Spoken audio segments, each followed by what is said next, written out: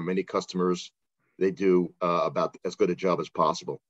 So today our presenters are Sam Rubin, our Vice President of Palo Alto's Unit 42 team, and Michael McKinnon, Senior VP of Solutions from Globalgig.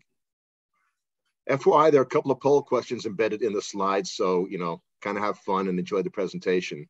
Uh, for the poll questions, I'll be I'll be responding. Put your answers in the chat, and you know, I'll make some pithy comment after the uh, the chat is done. And if you have any questions or um, comments during the presentation, please don't hesitate to put them in the chat window. We can interrupt the speakers as appropriate, or wait till the end when we'll have Q&A and you can ask your questions then.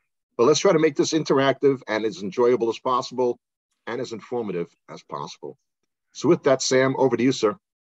Great. Thank you, Mitch. And uh, thanks to Globalgig uh, for inviting us here. And um, thank you all for joining as well. Um, so Unit 42, um, Unit 42 is part of Palo Alto Networks, and we are the company's threat intelligence, incident response, and security consulting arm. Uh, you can back it up a slide. We're going to stay on that for, for a couple minutes here. And um, for me personally, uh, I lead our services for North America. Um, I've been doing this for about 20 years, most of it in incident response, helping organizations respond to severe cyber threats, everything from um, insider threats to nation state advanced persistent threat. And so, you know, what we do at Unit 42 is we help organizations make threat informed approaches when it comes to cybersecurity. Um, the goal of threat intelligence is to help you make better decisions to protect your organization. You know, what this means is we all have scarce resources. Uh, we all have limited budgets, limited time, limited number of folks that can help us, but there's an almost unlimited number of cyber threats out there. Um, and so understanding what threats are most relevant to you um, and what you can do to have the greatest impact in defending against them is what Unit 42 is all about. And so, our unique vantage point in doing that is we have a global threat research team of about 200 people um, looking at uh, vulnerabilities, tracking the threat actors, and helping take that information and put it in, putting it into the Palo Alto Networks products as well as providing services. Um, and what we also have is this global telemetry, this unique corpus of data from all of the products, from our firewalls, from our endpoint uh, Cortex XDR agents from the cloud, um, obviously network rolling in. And so we have this view um, across the threat landscape of what's going on out there. Third, we have we do a lot of incident response. Uh, my team has about 120, 130 dedicated incident responders, and we're doing close to a thousand incident response investigations a year for organizations that are hit with things like ransomware, things like supply chain attacks, nation state threat actors. And so we have a pretty good cross cut of what's going on out there. So if you jump to the next slide, what I wanted to do is share with you a little bit about what we're seeing in this threat intelligence, in this incident response uh, activity that we're going on. Facebook for Zoom. hey, would you mind uh, muting Rohan? Thanks. And so, um, really, uh, my goal is to give you a bit of an understanding of what's going on and hopefully some recommendations along the way to stay safe. Um, there's a lot of ground to cover. This is just going to scratch the surface, and you can work with Globalgig, of course, or you know with Unit 42 um, to help you understand these things in greater depth. But um, we're going to cover three things at the highest level. We're going to cover software supply chain attacks. We're going to cover ransomware, which is the threat we've all been talking about for a while, but what's changing? What can we expect? And then this emerging threat landscape that we're seeing of cloud threats. Um, so, um, before we do that, I'd say I'd be remiss if I didn't start with, you know, what's going on in Eastern Europe uh, with the Russia Ukraine cyber threat. So we're going to start there. So let's jump to the next slide.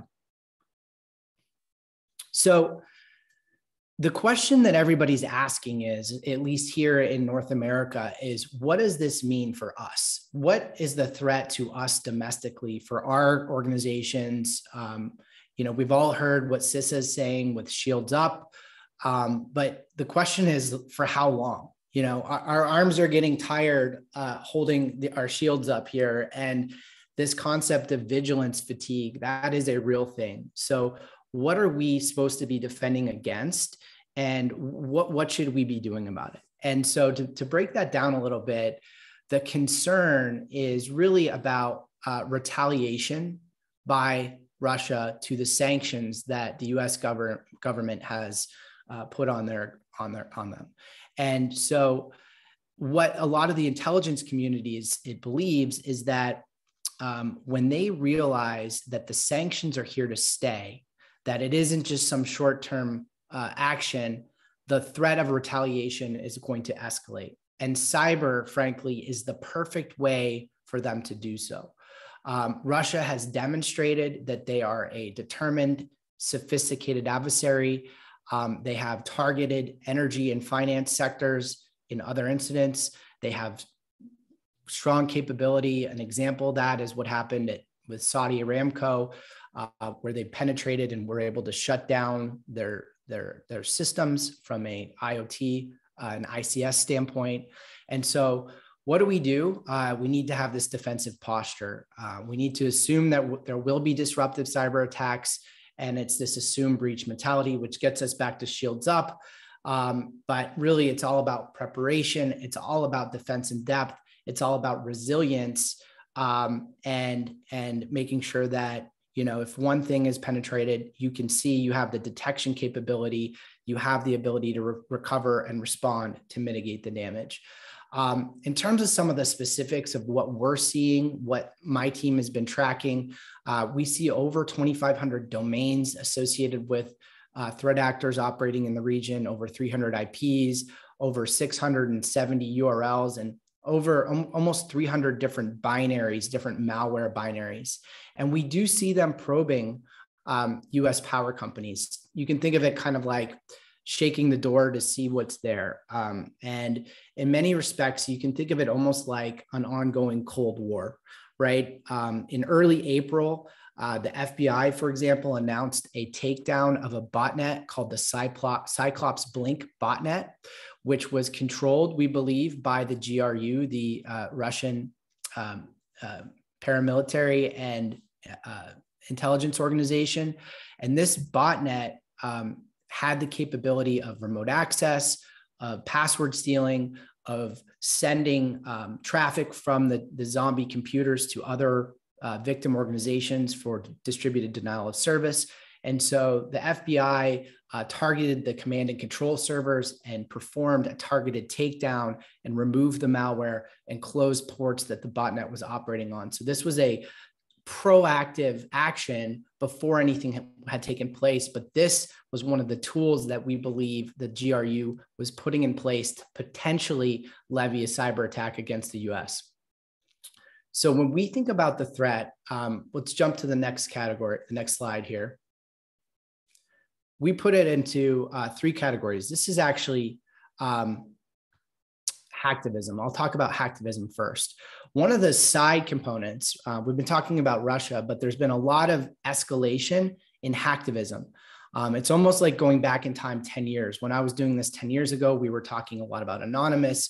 Uh, we were talking about them targeting um, uh, various US entities that didn't operate uh, politically the way they wanted. So hacktivism is back. And I'm calling this hacktivism 2.0 because they're really leveraging the state of the art social media plat- platforms, uh, ch- chat platforms, WhatsApp, et cetera, to coordinate their actions to recruit and to direct activity at um, organizations that aren't doing what they want. And one of the things that's scary about this to me is a lot of it, like you see in the screenshot, has been targeted at Western organizations because, for example, they're operating in Russia. And so, um, what this means is, uh, or the question we're asking is, are we going to see an escalation of hacktivism in a way that we haven't seen for 10 years as they're sort of weaponizing these platforms, finding the potential of being able to recruit other, other hackers to uh, carry out attacks in an organized fashion? Um, let's see what we have here next. Let's jump to the next slide. So the other the other threats that we're anticipating here, um, wipers. So we've seen a lot of variants used with success in Ukraine.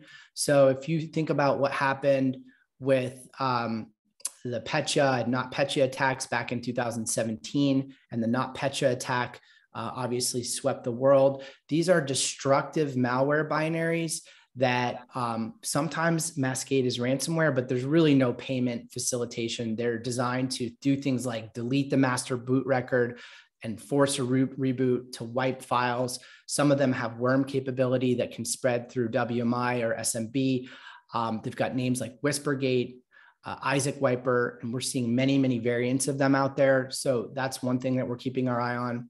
Another category is file stealers, things like SaintBot and Outsteal. They're really designed to, once they're on a system, collect passwords, collect sensitive documents, and take information.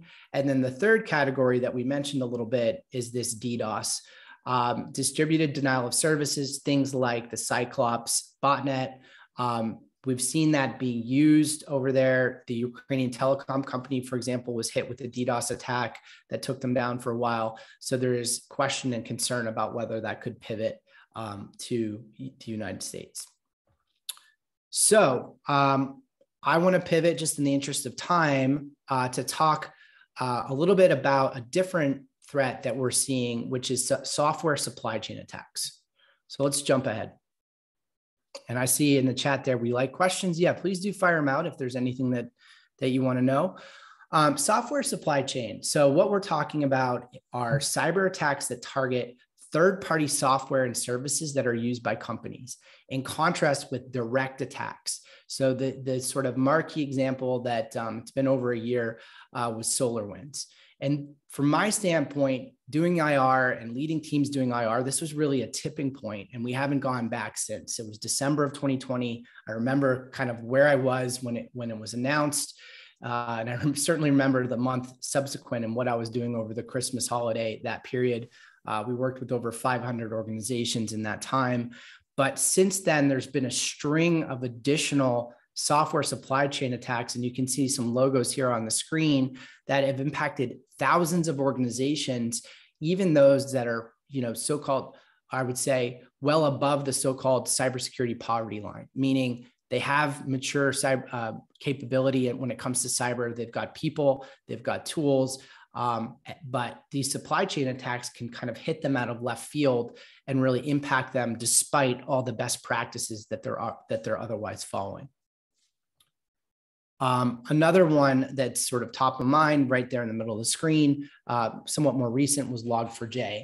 This was a remote code execution vulnerability in Apache, um, identified being exploited in the wild. And, and I said early December. Um, NIST categorized it as a CVSS 10, which is as severe as it gets. It, it was easy to exploit, it was dangerous when it was exploit, and it was widespread. And I will tell you, we are still seeing the fallout from this, even though it's been four or five months. Um, just earlier this week, we spun up a new incident response investigation, helping an organization out that um, we found we traced the initial intrusion vector back to Log4j in a third-party application that they didn't even know was vulnerable. So these uh, these things are going to have a long tail of impact for organizations. Uh, let's jump ahead. I also think we have a question in the chat. Okay. With Kaseya Exchange, I see it as data backup. How, how have the attacks impacted us from a DLP and um, BaaS standpoint? It's BaaS as backup as a service. So, so you, you're Shane. You're saying the challenge is data backup or what, what's your, your point there if you want to come off mute? Are you saying that if there are backups or other mechanisms to recover, it's not a problem or, or that's a method of remediation? What's the, what's the thrust to the question? Oh, sorry. I just want to find another standpoint for kind of addressing this. So kind of like for like the attack vectors, um, how does it kind of impact, at least from folks who are working at least from backup as a service or something like data loss prevention? Um, oh, I see. So if you're, in other words, if your responsibility is to facilitate backup as a service or responsible for recovery for your organization, is that the question? Yes. Yes. So these mechanisms on the screen that, that those logos often many of them will represent the initial intrusion vector. So back up a slide there, Taka. What what you'll see with Log4j, Codecov, the exchange zero day, um, you know what happened with Kaseya. These are all and the Spring4Shell one too. These are all uh, if you think of the MITRE ATT&CK framework, which is like a kill chain of everything from how they got in to at the end of the day, what's the impact? What did they take? And what happens in between? A lot of these, what they represent is how the threat actors get in, right? Like it is the mechanism by which they get in. That the exchange zero day, you know, led to a shell uh, being dropped, which allowed the threat actors remote access. From that point, it's privilege escalation and moving laterally to do things like finding, disabling, or destroying backups. Um, if there's a third party backup as a service solution, that's a great, um, sometimes compensating control if it's not accessible by the threat actors, but that doesn't mean they can't use that access to, to do other things. Ransomware is one of the most common outcomes of this type of access, though. Yep. And, th- and that point to your the, the ransomware aspect. So a view that I've seen, and it's been around for a while or whatever, is lateral movement within VMware environments to encrypt backups that are replicated offsite or to secondary systems so that not only the attack vector hitting from the actual point of entry, it's skewing all the way down and, and locking the backups and replicated backups across the entire infrastructure. So that's right. Have it, you're still you're still at risk. Yeah, and let's actually pivot to ransomware. That's a great segue. And how am I doing on time? About another five ten minutes. Is that does that work? Yeah, about yeah, about another ten minutes. Perfect. So um, let's jump to the next slide. So uh, we talked about these supply chain attacks, and I think this was a good setup because what this is what the, the number one outcome. If you're a threat actor, there's simply no better way to monetize. Ultimately, if they're doing this to make money, there's no better way to monetize the unauthorized access you get than by locking things up, asking for Bitcoin or some other crypto, or ex- otherwise extorting the customer because of the access you get. And so, um, no surprise, ransomware continues to go up year over year. Um, our team performs about 300 ransomware incident response investigations a year. And so we track the threat actors. Um, we believe very strongly this is still threat number one um, that organizations should be concerned about. Um, one comment that I'll, I'll make just to give you a little sort of short-term context, we talked about like what's been going on since um, you know the, the Russia-Ukraine um, cyber threat and impact over there. We actually are seeing ransomware be down month over month, perhaps counterintuitively, but it is down um, since the beginning of the year this year. Uh, in terms of the number of organizations being impacted. And the reason for this, um, some speculation, but we believe it's because of what's going on in Eastern Europe, where a lot of these groups operate out of and they are distracted or otherwise disrupted in their in their normal business operations targeting mostly north american based organizations. Um, if you're in ukraine you're not obviously facilitating ransomware right now. If you're in russia there's a debate and a question and we've seen by leaks some of the threat actors are affiliated perhaps loosely but somehow affiliated with the, the, the state there with the russian government and they may be directing some of their activity towards Ukraine. And so, actually, there was an article out in the Wall Street Journal today with some of that same finding that ransomware is down month over month, and that's consistent with what we're seeing in our response. Um, some of the stats, because we track it across our mat, this is from our matters. Uh, average demand 2.2 million, average payment about 541,000. There is a discrepancy. A lot of uh, there's room to negotiate uh, with those organizations. Um, and then the other thing that we've seen quite a bit more of in the past year is the use of leak sites. So each of these uh, sophisticated threat actors will use a leak site and they'll take information and post it there as sort of proof of um, exploitation and proof of the ability to uh, exploit the the the customer. Um, and so we've seen that up 85% compared to 2020. Um, I've got another question here. PKI service providers are fully secure or not um, on target of these hackers. Um, I look, I, I don't know. I'm not going to speak specifically to Comodo and, and the others. Um, but I would say nobody in the world is fully secure. So, um, but uh, we can we can leave that to what your conversations with them about their best practices and, and securing the organization. But uh, nobody out there in the world is full. There's no such thing as perfect security, right? Um, and that let's go to the next slide. So no one is immune from ransomware attacks. We're seeing every industry, um, small businesses, large organizations. Um, some of them you read about in the news, many of them you don't. Um, from our data, we see professional services and legal be very commonly tack, attacked. Um, we think oftentimes in manufacturing too, we think a lot of these organizations are running on uh, out of date systems or, or things that aren't patched. And also in terms of their willingness to pay as a target, uh, disruption of their operations really means that the threat actors get a foothold in, in uh, coercing payment out of them.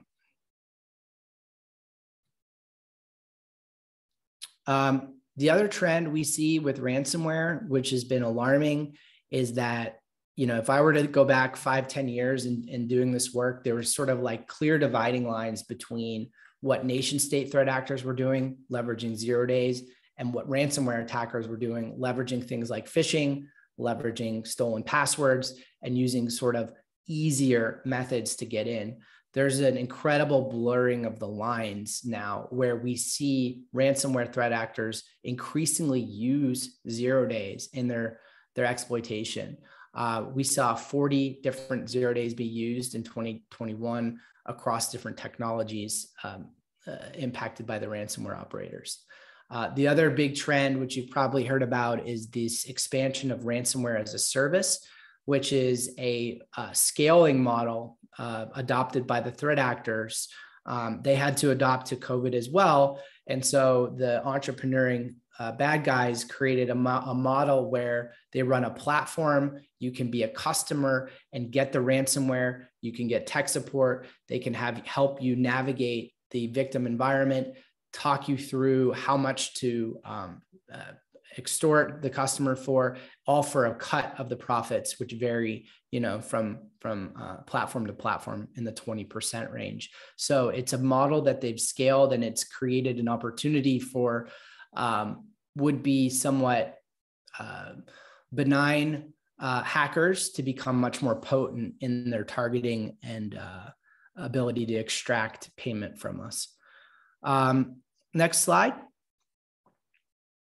Um, we talked about this a little bit. We've got a lot of data on how much the, the difference between the payment and the um, demand amount. There is room to negotiate if you find yourself encrypted uh, about about uh, 42% um, overall uh, on of the initial ransom demanded is what we have seen um, in in our matters. Um, let's move on, and uh, I'll try and wrap it up quickly here. I know I'm closely quickly running out of time. So the third trend I wanted to talk about is what's going on in the cloud. Um, we all know the way we've worked in the past two years has changed, and COVID accelerated our move to the cloud. Uh, remote workforce. Here I am at home um, our use of SaaS applications, and the convenience is awesome. The performance is amazing. Um, the availability is great, but because we now have so many of our apps and our data and our people outside of the, the perimeter um, of our of our corporate firewalls and our data center, our attack surface has just expanded tremendously. And so, because of this, we're seeing, understandably, a huge uptick in cloud-based incidents. And it's not that the cloud or these SaaS applications are insecure.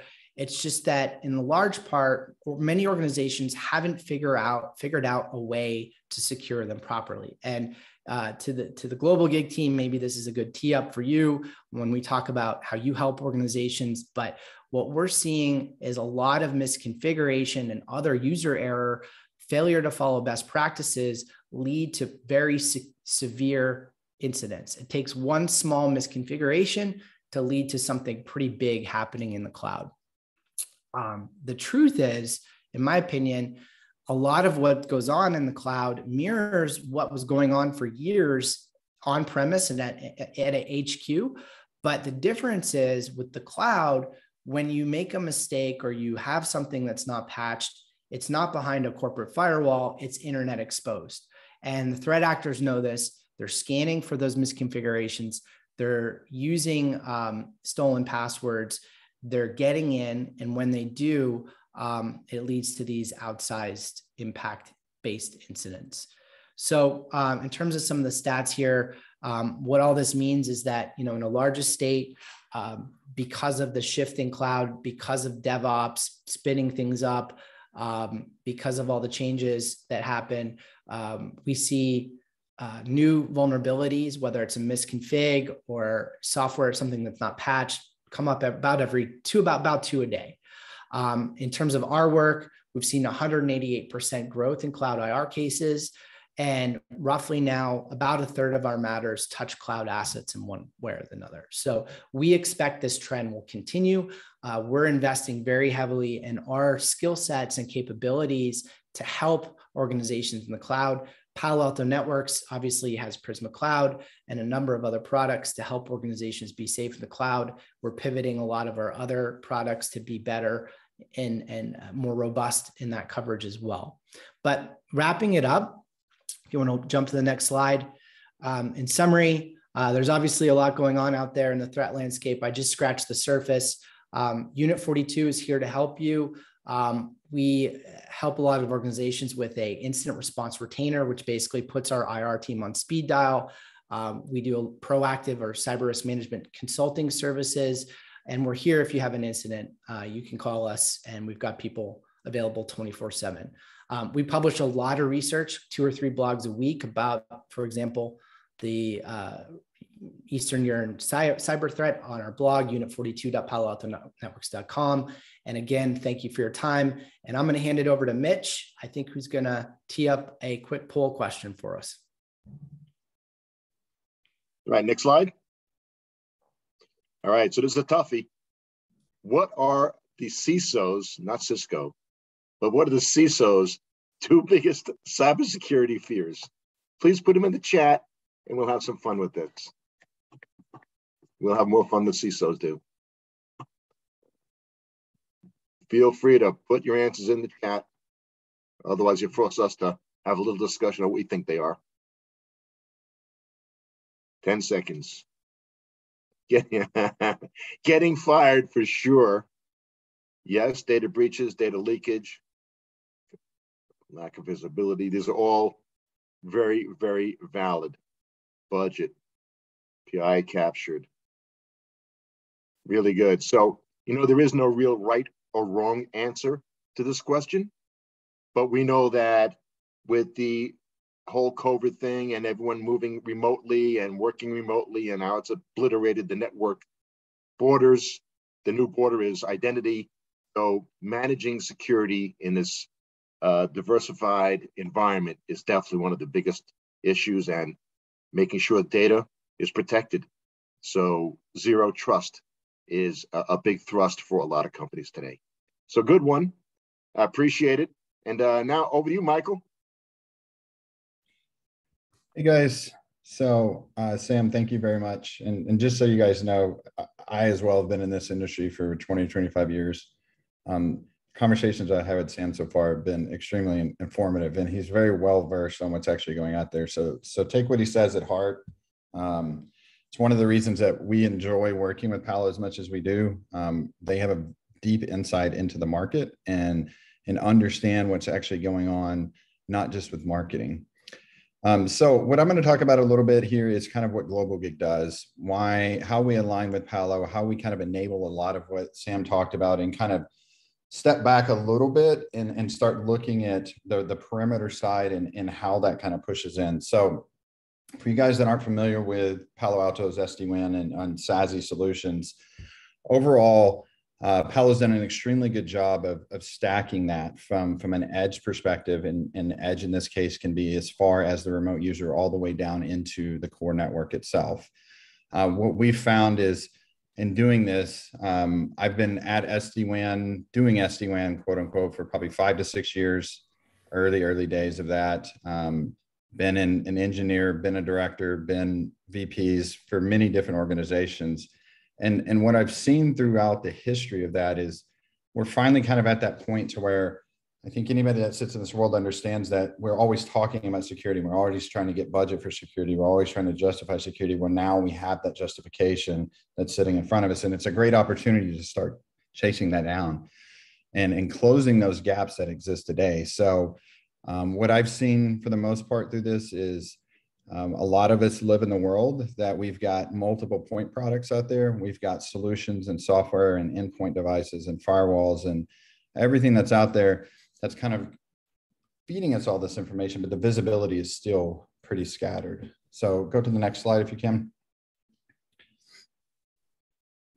Um, it kind of leads into the fact that we were transitioning as we kind of go through this from, from the bolt-on security aspects of what we're kind of used to, meaning we've got multiple products. So we're targeting different layers of the stack where we have data centers that have certain type of firewalls. We have remote users that have X. We have branch sites that have a different type of firewall or potentially it's all vendor aligned but we're not getting to the point that we need to where we have that clear visibility end to end so that as that threat landscape expands we're able to identify that and remediate that as much as possible and as quickly as possible and get further down into that stack so that we can manage that end to end for the customers so when we start looking at how we solve that uh, from a product standpoint, but also from a methodology standpoint, that's kind of where we step in with a lot of our customers.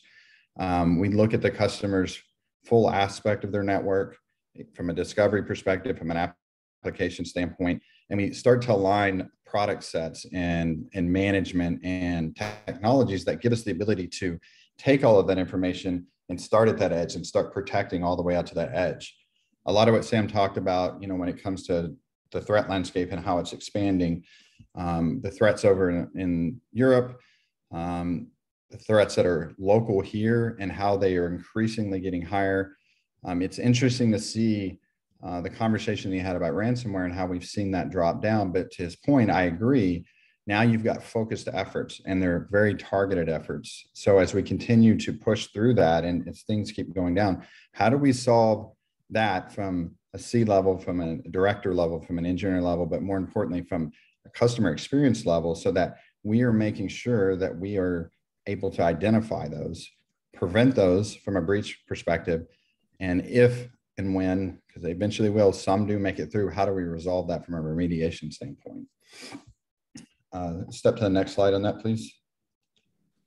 So if we look at the market and we go back to where Gartner coined the frame SASE, um, a lot of people today still have the idea that that SASE and SD-WAN are separate products. Um, I've taken the mindset that SASE contains SD-WAN now, because um, what we're trying to look at is is how do we solve that full stack up.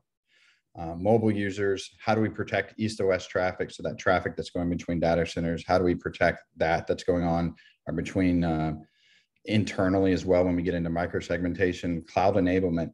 Um, Sam touched a lot on like what that threat landscape, threat landscape looks like today. And it's it's also interesting to me as we've seen the transformational world go, those on-prem data centers have been moving to the data center. So those same problems fall along with it. So we have to get more visibility of what's going on in there. How do we micro segment that? How do we protect the edge and the perimeter of that as well? Uh, when we start looking at combining those, um, the cost savings is inherent to that. But more importantly to me um, are probably the, the last two things on this and what I see more often than not. And that's the improved endpoint and user experience, meaning my users are secure wherever they are, wherever they go, whether that be a branch, whether that be a coffee shop, whether that be at their own home, and that threat protection and increased visibility.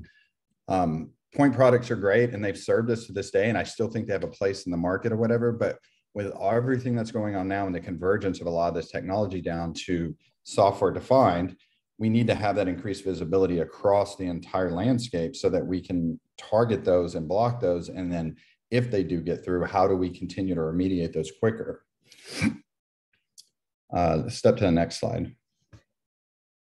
So, so this is a quick snapshot on what a SASE from a full stack perspective looks like. And this is this is aligned as well all the way up from the Palo side. And where we're really starting at this and where we really need to start focusing on the, the protection of this and how it goes up is that bottom level. So mobile users, branch retail sites, oftentimes those retail sites can be, if we look at logistics, it may be a mobile van, it may be some type of catering, it may be some type of manufacturing or trucking that we need to start to look at as well how do we start protecting at that layer and move up that stack? And what you'll notice as you kind of move through that, SD-WAN is where that actually starts. And then we push up further into that all the way to those data centers, breakout internet, any of the SaaS applications that we're using, public cloud.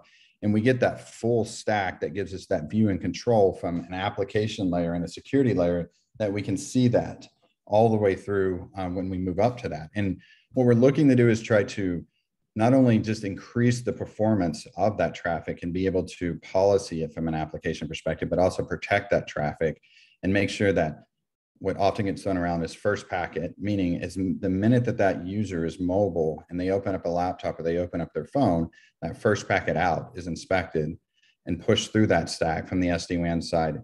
It's inspected in Prisma Access if it needs to go that way, all the way to those data center applications or the public cloud side. So couple things I'll, I'll talk on, um, you know, I, I, look at business cases a lot and like how, how have we solved current customers and, and what was the output of that? This is a fairly typical customer for us. Um, you know, we, we have a lot of verticals that we target, but the more interesting thing that I've seen over probably the past 24 months or whatever is it, this applies to just about any vertical that you're in. Um, oftentimes you can silo, you know, in, in fintech or uh, in manufacturing, especially on the IoT side, oil and gas, or whatever. But these the the way the landscape has changed, there there is high targets that are higher, but everybody's being affected to this. There's no single targeted. Hey, if you're in this, you're 100% at risk. So so when we go through and we look at this use case specifically, it's a big CPA firm.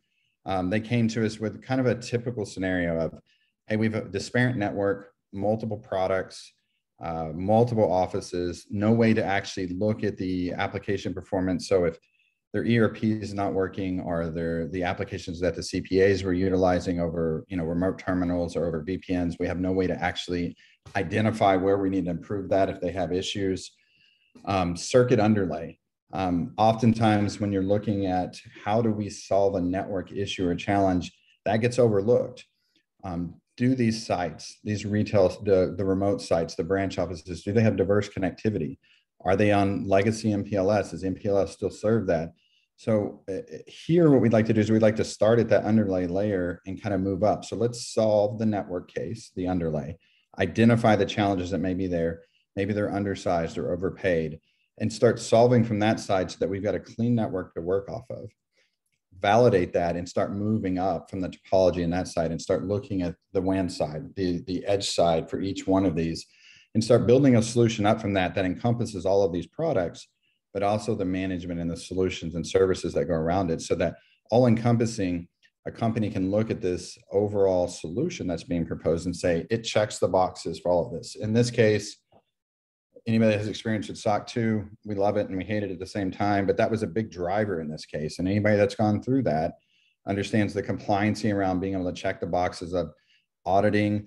If you go through a SOC 2 audit, being able to provide the logs, the data, the information as far as users that are onboarded, offboarded, their abilities to be able to be tracked from the network. If they're off the network, what does that traffic look like? It really becomes a challenge when you have eight to 10 point products across the organization that aren't integrating that information are able to centrally gauge that information and present it to an auditor during your audit phase. Next slide, please. So what we kind of did here um, overall is we, we went into this and we, and we do what we typically do. We do a full discovery uh, from a network architecture, implementation, documentation, and planning, and really work with the, we work with this customer to come up with a plan on what this looked like. I tell everybody that I talk to, I never go into a call with a customer trying to place software or hardware. I go in trying to identify what those business cases are, what those pain points are. What is the overall goal to try to solve for this? And then identify the products that fit for that. So as we kind of walked through with this customer and, and looked at this, and you'll see a very high level diagram here of what this ended up looking like, is we decided along the ways with the direction they were moving, a lot of the users were working remote. A lot of that was driven by COVID. A lot of it was just driven by how they were actually deploying their stuff today. That SD-WAN made a lot of sense here. And what we, we actually ended up doing is deploying SD-WAN in their data centers, deploying SD-WAN at their branch sites, and enabling Prisma Access, which is the mobile user side. And if you look at this diagram over to the right, where Okta's tied into that, into Prisma Access, this kind of serves as a uh, overarching global hub point that any users wherever they're at in the world can actually access this. And the interesting thing that you'll see, because there's there's lots of solutions out there that that that touch this and do parts of this, is that all your security components can be held up in here.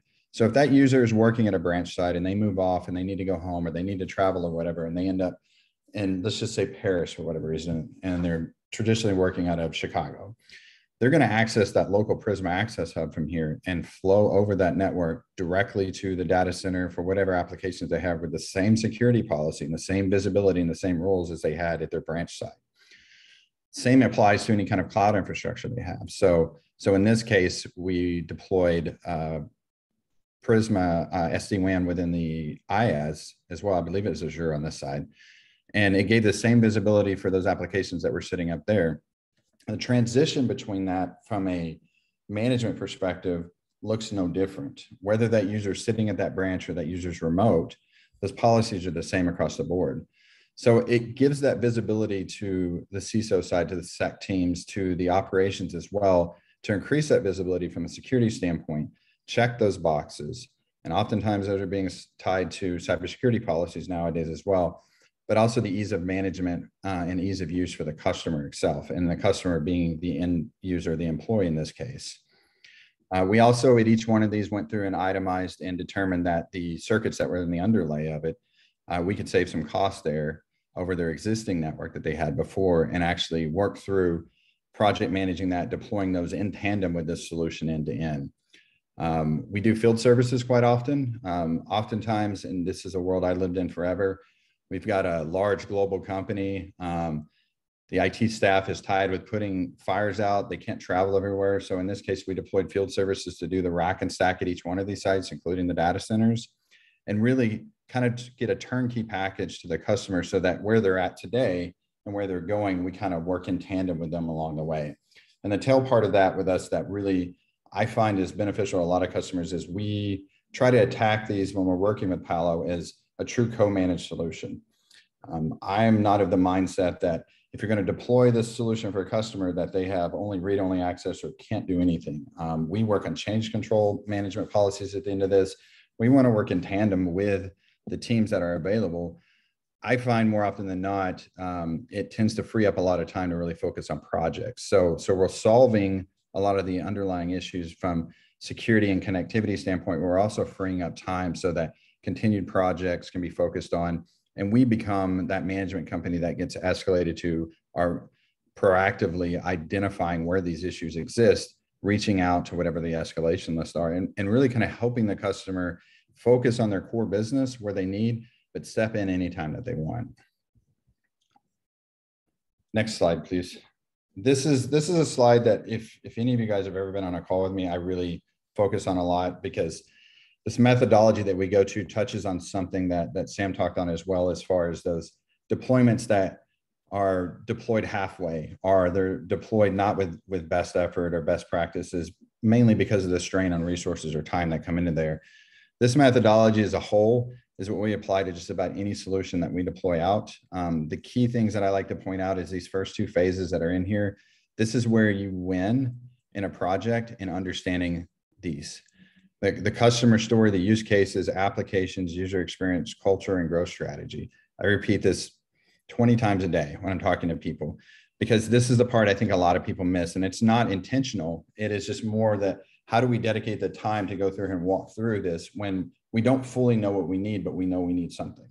Uh, we don't fully understand the objective of when we're deploying SD-WAN, where do we solve this case and solve this business case, but also taking a fact that in 18 to 24 months, we may be doing M&A and acquiring other companies. And so walking customers through this from a discovery standpoint, this is a third of the projects and most time when we're going through this. As we kind of go into the design phase, the output of that to, to you guys, and this is something I fully, anybody that you're working with, you should expect is what is the high level diagrams like? Like, why are we choosing this platform option? What are my connectivity options? And, and how do we define like what you're actually doing during this and get in lockstep with the deployment so that there's a statement of work and there's a BOM aligned with that that we're all agreeing on from a phased approach and how we roll this out. Sometimes rollouts are smooth. Oftentimes we're replacing underlying underlying MPLS circuits, underlying connectivity. So there may be ETL fees associated with that that we've got to take into account. So building that project plan out where there's three months, six months. I have a customer now that we've been working with for almost three years now for a very large global deployment because we have to term this along the ways as we go. And we built a full plan for that. And we're checking in from each phase, building the success criteria for each phase and making sure we work through that. And it's it's a long-term project. So taking those in account make the decision a little bit easier so that you're not just fighting for budget for something, but worrying about what you're double paying on. Um, the align and achieve phase in a lot of this, uh, to me, the alignment is where we're doing that review and we're doing workshops with you guys so that we review this as we're going through it. Our project managers are developing project plans. We're sitting down with a project team if you have one, if not, whoever the point is, and we're making sure that we're staying accountable through that. Um, I tell this to some people, you'll see it if you ever get an SOW from me. That project plan has milestones built into it. I refuse to do a project with a customer with a milestone without a milestone payment in it, meaning that we'll, we will not accept payment on a project until we've hit that milestone within that phase. And that's kind of keeping everybody honest with each other and making sure that that last point that customer acceptance you're getting what you're asking for. We're solving those use cases. We're solving the, those objectives and, and, and expectations before we even move on to that next phase. And the last phase in this is the achieve phase. Uh, achieve to me is day two type support. It's that success criteria. It's transitioning to our NOC. It's transitioning to what that ongoing management looks like so that when an issue arises, you know what's going to happen, where, where it's going, how it's being escalated. And we're proactively reaching out to you the supplier, the carrier, whoever it may be during that process to make sure that that solution, either it be from an edge perspective, a security perspective, a circuit performance perspective, you're getting that wrapped all up in so that the day to day becomes much simpler for you guys. Uh, next slide. I, th I think this kind of just summarizes. I'm, I'm going to wrap up here real quick because I, I think a lot of this is what I said, but but you know when we're looking at stacking the SASE solutions from an SD-WAN and security and management and alignment perspective. These really are kind of the key things that we look at. What are we accomplishing? And the three things on, on the left are, are summarize all of this. Increased visibility, that applies to security, it applies to application performance, user experience, reducing the complexity of multiple point products and multiple vendors, and really aligning with the business goals so that when we get to that point, you guys and, and Globalgig and Palo, we're all on the same page and knowing that we want to accomplish this. And that's that's super important when we're doing large projects like this, our complex projects, and understanding that SD-WAN and security is not, it's not something that's uncomplex, or we probably wouldn't be on this call, to be honest with you, and it's ever changing. So that's it for me. Um, these are a couple of customers that we have today. Um, some of these you may recognize, some of them may not. Um, we really work in a lot of different verticals, from small to large, uh, but you'll probably recognize some of these. And, and a lot of these successes that aren't here are attributed directly to Palo and, and their product set and their expertise as well. Great, Michael. Awesome. Hey, Sam, Michael, great presentation. Really thank you for your participation. Audience members, thank you for participating and hanging in there. Uh, so, you know, the last few minutes, we like to open up to any kind of Q&A. There's been some good dialogue in the chat, but um, please take yourselves off mute and participate in any Q&A if there are any questions. I have a question. It's Sam, uh, maybe a bit of a softball, but uh, to the Globalgig team, how does a customer know when, like, what are the pain points that they're feeling commonly when they're like, well, maybe we're ready for something new here, for something like you just positioned? Yeah. Um, pain points for me usually on a, on a transformational side. So, so I see, I always say there's probably two to three that I generally see.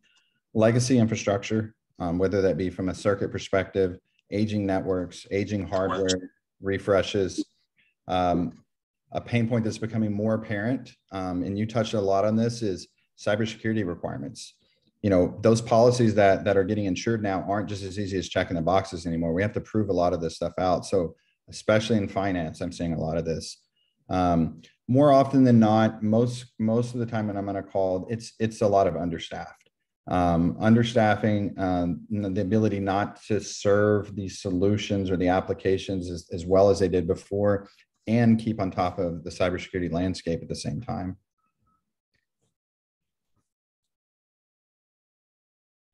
Makes sense. All right. Well, um, doesn't look like we really have any more Q and A. So, um, any closing comments by any of the participants, the uh, Michael and Sam, or we'll just call it a wrap. I'll, I'll just say without- thank you. Yeah. Yeah. Appreciate I'll, say- I'll say thank you guys. And, and the, the thing I always put out whenever I do these is you may not want to buy from us, but if you've got questions, call me. My job, and I'm sure Sam's the same way, like we, we want to educate the market on what's out there and what's actually going on so that you guys can make informed decisions. So any kind of questions that come up on stuff like this, or if you're in a project, feel free to ping me on LinkedIn by email. I'm happy to have a conversation anytime. You know, informed decisions are the best case of a customer being happy wherever that goes is where it goes but that's really why we do these make sure that you guys are in the right position to make the right decision educated wise so that you don't end up 18 24 months from now going what did i just do And that's really a key point. Uh, the fact that you have a Globalgig at your beck and call, they can accelerate your education. They have a broad view of the marketplace, the various vendors and products out there and solutions out there.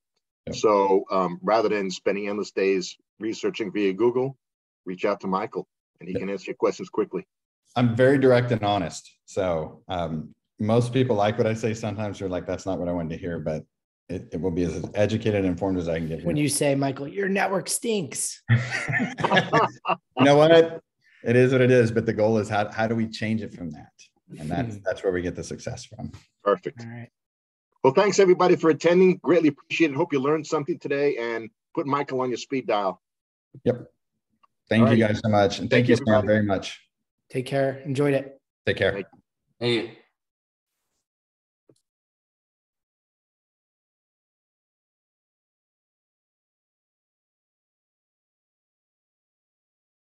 All right, Taki, you can end uh, the the webinar.